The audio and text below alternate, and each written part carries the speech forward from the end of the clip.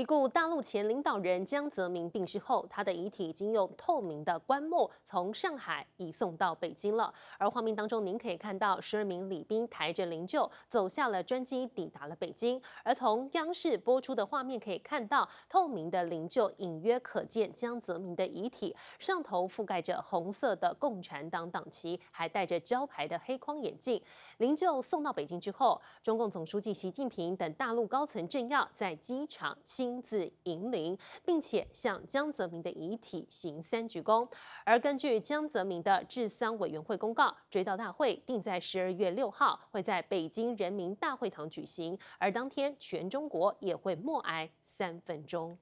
掌握全球情势、国际新闻，全新选择 YT 频道 TVBS 国际 Plus，扩大视野。欢迎订阅并开启小铃铛。